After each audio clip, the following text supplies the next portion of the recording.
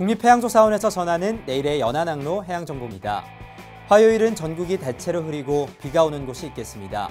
중부지방은 아침까지, 전남과 경남, 제주도는 오후까지 비가 내리겠고요. 내륙에는 오후에 소나기가 오는 곳이 있겠습니다. 출항지인 인천항의 선박 운항 지수는 종일 1단계인 안전 유지됩니다. 파고는 최대 0.4m로 낮게 일겠고요. 바람은 초속 6m 안팎으로 약하게 불겠습니다.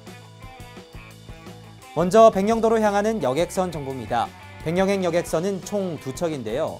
코리아 킹호 08시 30분, 옹진 훼미리호는 13시에 출항하겠습니다. 코리아 킹호 출항 시 기온은 26도에 구름 많은 날씨 예상됩니다.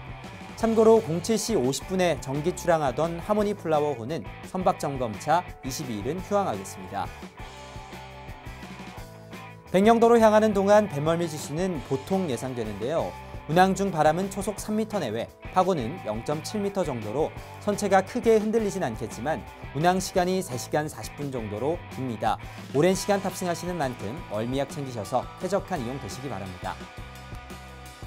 코리아 킹호 도착 시각인 낮 12시 10분에는 기온 27도에 구름 많은 날씨 이어지겠습니다. 다음은 연평도로 떠나는 여객선 정보 알려드릴 텐데요. 연평행 플라잉 카페리호는 낮 12시에 출항하겠습니다. 출항지 기온은 28도에 구름이 많겠습니다.